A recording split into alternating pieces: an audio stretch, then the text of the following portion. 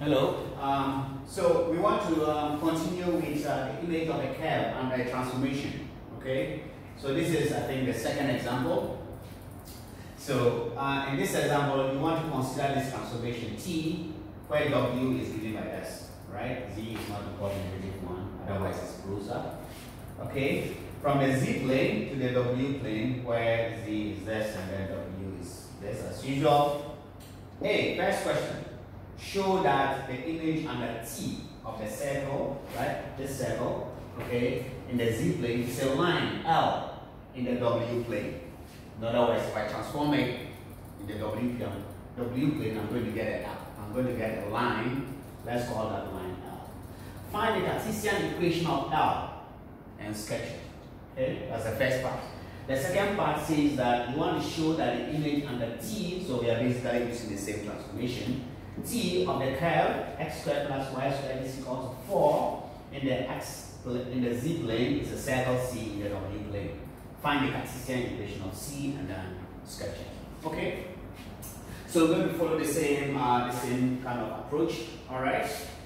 Uh, let me get rid of this to make room. So we'll be using this transformation a lot. So I'm just going to write it here.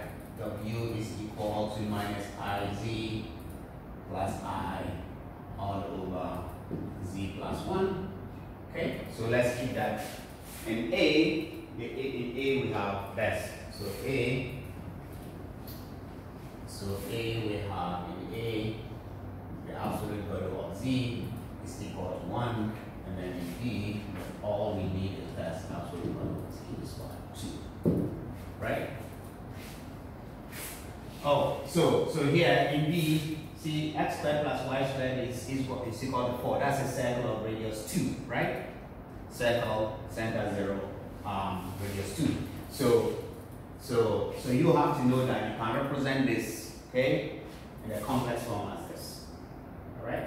So this is the same as So now that we have this, so we are good to go actually. So in the first one, in the, in the first one, we want to show that this transforms under W to a line. And we want to show that this guy will transform under W or T, right, into a circle. C. Like that. So that's basically So we're going to take A. A. We have um, W here. So we are using the same thing, the same thing. You want to rewrite it, find the absolute value so that once you have absolute value, values of z, you replace it with 1. Okay, that is the point. So you have iz plus i all over z plus 1. I multiply this out, so I have wz plus w is equal to minus iz plus i this gives me, I'm going to group the uh, z's, right? So I'll bring i here. So w minus i is equal to negative i z. This goes there, gives me um, minus wz. Okay? Good. So let's go up here, get rid of this. Let's get rid of that. Get rid of this. Then what do we have? Okay, so now I can factorize z out. Okay, so I have w minus i is actually I can pull out the negative z. So I have minus z. Then I'm left with i here plus w. See? So I can divide through by this. So I have w minus i all over w plus i, right? Is equal to negative so now I can take the absolute value of uh, both sides, right? So if I do that, we're going to have the absolute value of all of this all over plus i is the absolute value of z. Note that the absolute value of negative, well, this is the absolute value of negative 1 if you like, right? And the absolute value of z. But the absolute value of minus 1 is 1, right? And the absolute value of z is what? In A, the absolute value of z is 1. So 1 and 1 gives us 1. So all of this is equal to 1. Therefore, this Now the absolute value of this is the same as the absolute value of this minus this. If you look at the properties of absolute values for uh, complex numbers, okay? So this implies, I'm just going to do it here, it implies that the absolute value of W minus I is equal to, I'm multiplying this by that, uh, absolute value of W plus Okay? Now, in the W plane, what does that represent? You can imagine if this was Z's, you know what that is, right? That will be a perpendicular bisector. Okay? That will be a perpendicular bisector of the line joining uh, this and that. Now, you can rewrite this as this, right? This is W uh, minus the point here will be 0 and negative I, right?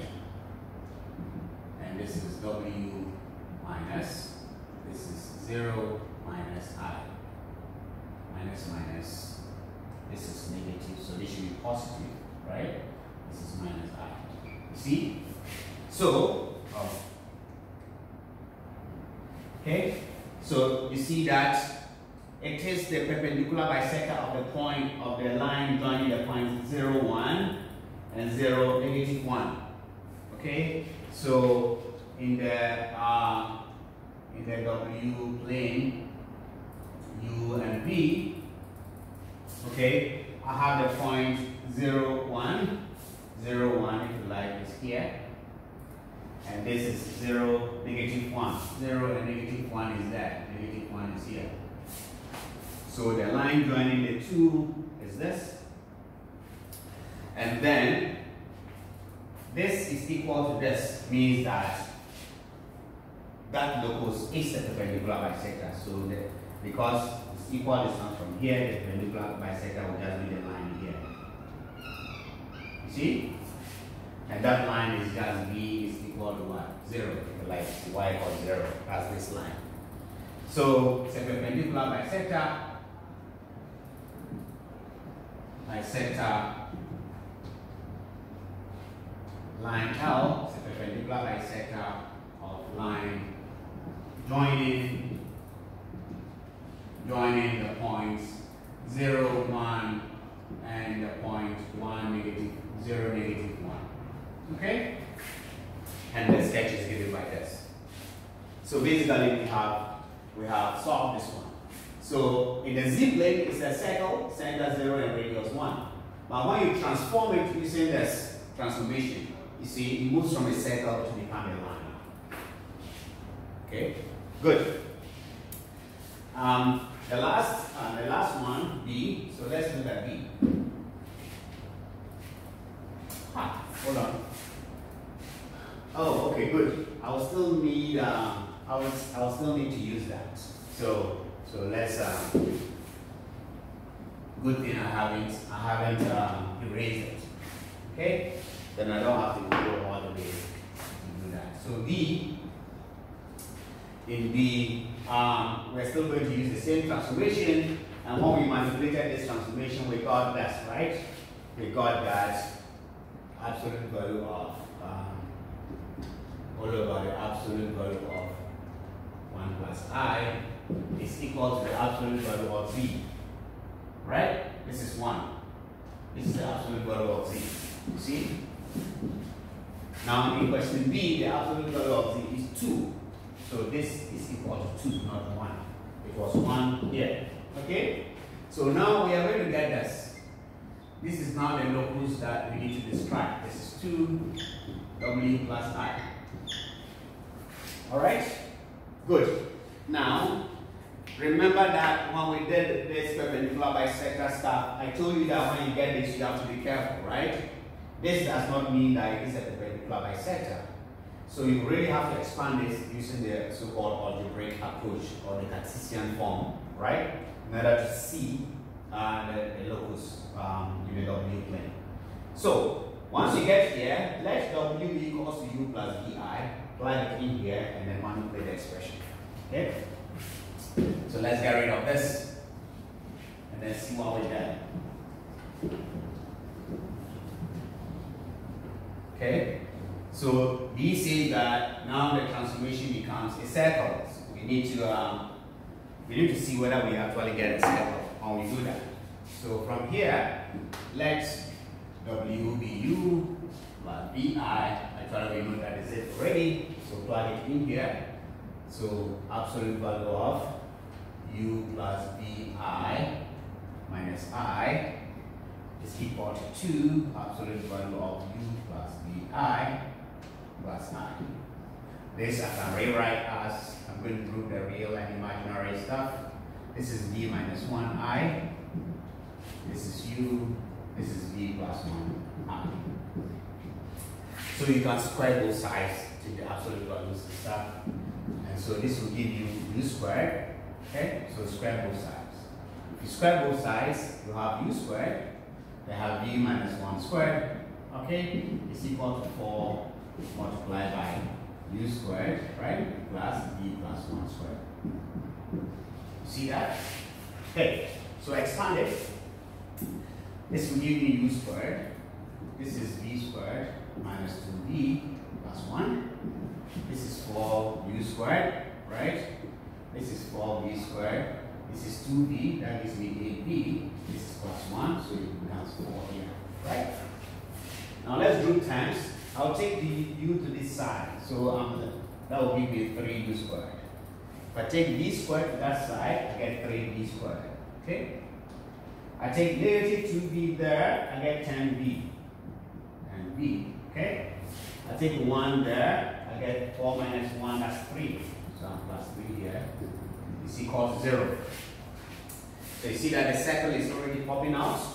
Divide through by 3. If you do, you have u squared plus v squared plus 10 over 3. b plus 1 is equal to 0. So now you can complete the square so that you can um, you can determine the center and then the radius of the circle. So completing the square, I'm going to have u squared plus, I have v plus 5 over 3 squared, right? So I have v squared, I have 10 over 3v, and this squared. So I need to subtract it, right? So 25 over 9, and then the other one is what? Plus 1 is equal to 0. So 1 here. So I get u squared plus v 5 over 3 squared is equal to, I'm going to take this to that side, that's 25 over 9 minus 1. This is 9, 9, that's 16 over 9. Okay? Uh, that is what? So we have u squared, v plus 5 over 3 all squared, right? Plus, no, this is equal to 4 over 3 squared. And then we know that this is the equation of a circle in the W plane, right? With a uh, center 0 and negative 5 over 3, okay? And a radius of 4 over 3. So indeed, when I transform, right, this circle here, using this, I get a circle. But the center and radius are different. Okay? So let's let's finish this off.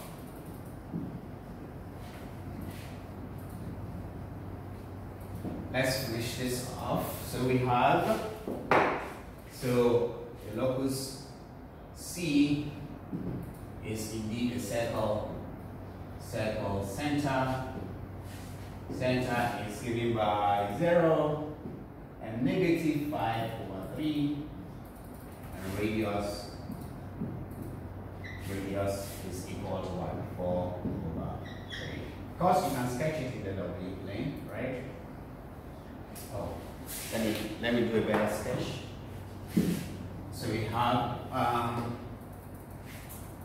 have, hmm, all right, U and B, uh, x is 0, y is, uh, this is almost 2, let's see. So I have 1, 2, negative, negative, negative 3, negative 4, 1, 2, 3, negative. All right.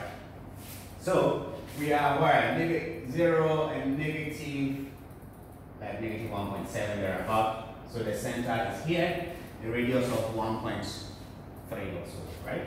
So radius of 1.3, so it cuts here, uh, it comes there, there, somewhere there, so you're going get the circle. Okay? So, in the W plane, you get you get the circle um, right there. Alright? So that is it. That is uh, the end of the, you know, you transform an image from C to W, this is how you go about it. Alright? Let me know if you have any questions. All the best.